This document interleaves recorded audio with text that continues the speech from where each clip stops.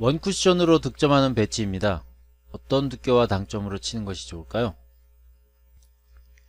이런 배치에서 원쿠션으로 득점하기 위한 일반적인 방법은 내공이 일적구를 맞고 밀리지 않도록 중단 또는 중하단 당점으로 치는 것인데요.